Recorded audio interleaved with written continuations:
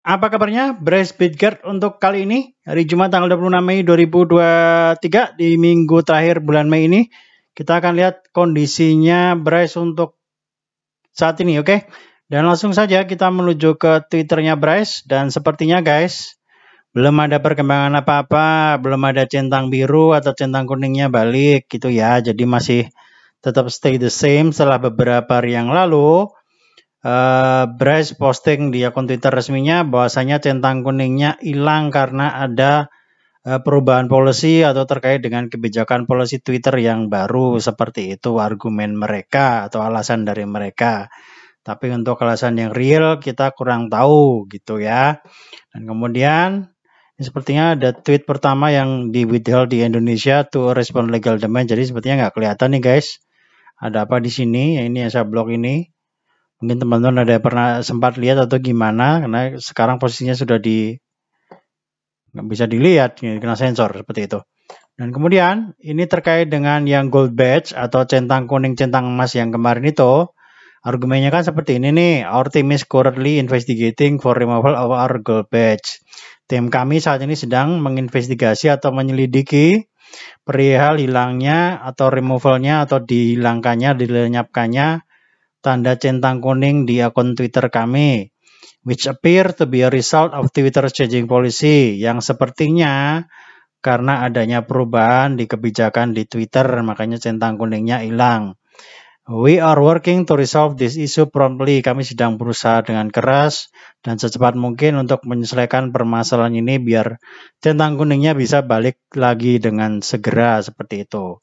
Tapi kemudian ada beberapa yang menarik kalau teman-teman lihat di Twitter di tweet yang ini. Jadi salah satunya adalah ini guys.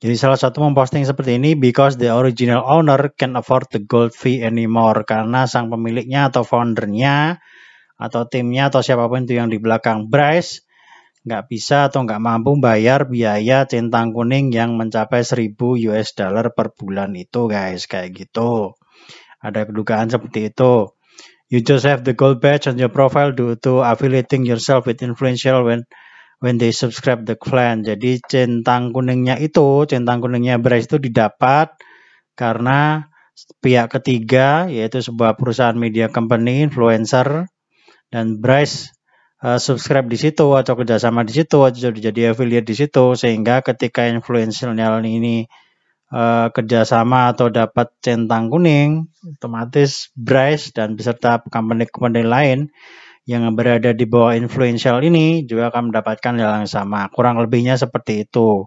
Kalau salah ya mohon maaf, tapi sepertinya intinya Bryce dapat centang kuning karena influential itu lah. Seperti itu. Kurang lebihnya kasarannya walaupun kita uh, yang sebenarnya kita nggak tahu kan karena Bryce juga nggak mau ngomong kan, nggak mau bilang.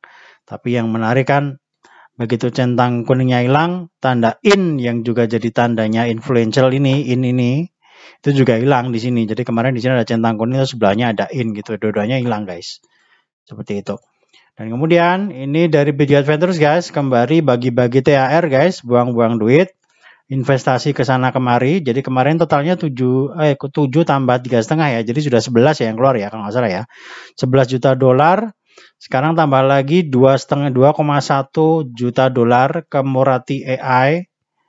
Ini salah satu koin micin baru sepertinya dan cukup unik. Saya sempat lihat kemarin sedikit Morati ini karena sempat ada teman yang posting ya, ada subscriber yang posting di komentar untuk dilihat soal Morati ini dan sempat saya sempat lihat umurnya baru seharian atau dua harian gitu guys, tapi udah di kucurin duit segini 2,1. Jadi saya juga sempat bertanya-tanya apakah gerangan apakah Morati ini salah satu project barunya Bryce atau salah satu punyanya ownernya Bryce atau timnya Bryce yang bikin coin micin sendiri gitu terus dimodalin pakai duitnya yang investasi di Bitget Ventures ini atau gimana kita kurang tahu. Tapi mungkin teman-teman bisa ngecek Murati AI ini kalau nggak salah umurnya baru berapa hari gitu guys, dua hari atau berapa gitu. Kok bisa langsung dapat duit segini? Saya juga nanya-nanya kok bisa langsung percaya seperti itu dari mana alasannya? Kayak gitu. Mungkin ada argumennya tapi kita lihat aja Nilainya cuma berita nanti aja guys.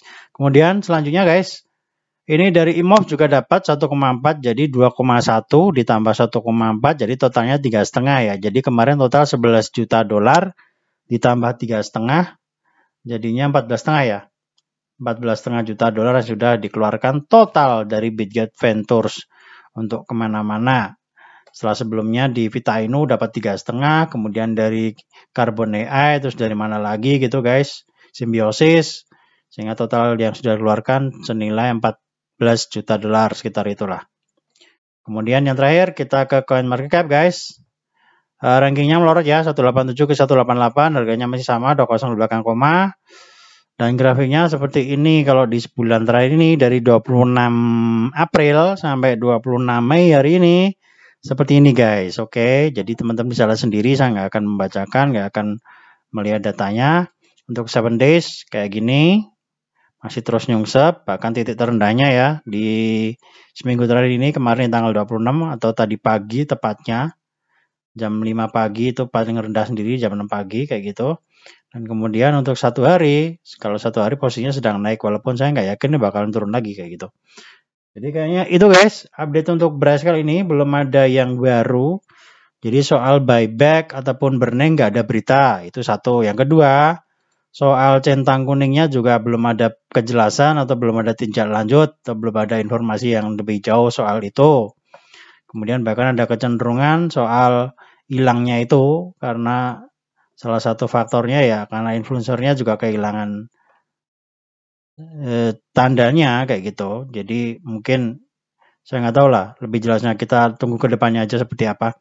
Dan kemudian masalah investasi ngucurin duit lagi senilai tiga setengah juta dolar ke Murati AI dan ke Imov sehingga totalnya kemarin 11 tambah tiga setengah jadinya 14 setengah juta dolar guys yang sudah dikucurkan oleh Bitget Ventures ini.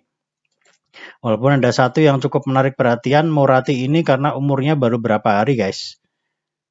Jadi dia langsung dapat duit. Saya nggak tahu apakah ini related somehow related to Bitget, Brass atau gimana atau ini proyek uh, selanjutnya dari Brass saya nggak tahu. Tapi yang jelas kok bisa dapat langsung dana segini ini jadi big question mark, jadi pertanyaan besar termasuk buat saya sendiri gitu. Tapi akan saya cari tahu nanti, oke? Okay? Dan kemudian harganya seperti ini, teman-teman bisa lihat sendiri, saya nggak perlu ceritain, nggak perlu membaca datanya, silahkan mau baca sendiri, kayak gitu, nggak ada perubahan apa-apa. Dan kayaknya cuman itu guys, untuk Bitget kali ini di weekend minggu keempat bulan Mei. Dan mungkin minggu depan kayaknya mungkin ada berita baru, nggak tahu, kita tunggu aja bersama, oke? Okay? Dan saya kira cuman itu update untuk Brace kali ini, thank you very much sudah menyaksikan, tetap di Cryptopedia. Jangan lupa subscribe dan share. This is not financial advice. Do your research karena aset itu adalah aset yang sangat volatile dan berbahaya. Sekali risiko dan konsekuensi sepenuhnya ditanggung jawab teman-teman semuanya. Oke, dan saya akhiri video ini sampai di sini. Kita akan update coin yang selanjutnya. Thank you very much and bye for now.